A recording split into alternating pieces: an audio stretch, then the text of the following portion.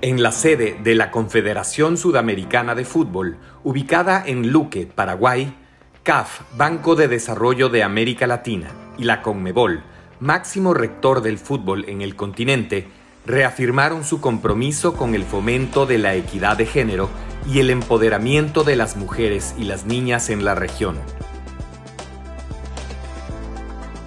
El domingo 6 de marzo, se llevó a cabo una jornada deportiva llena de emociones y buen fútbol.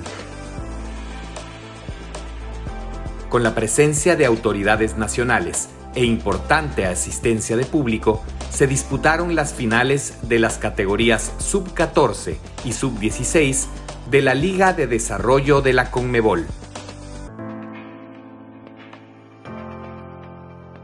Como cierre del evento, se realizó la firma del memorándum de entendimiento entre ambas instituciones.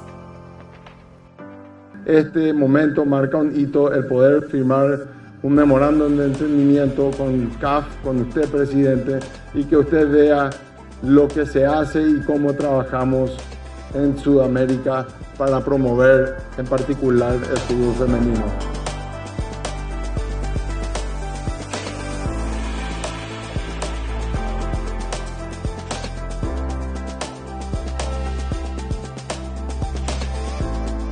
CAF queremos darle la oportunidad a que todas las niñas y mujeres en América Latina y el Caribe no sean discriminadas en ningún sector, en ninguna actividad.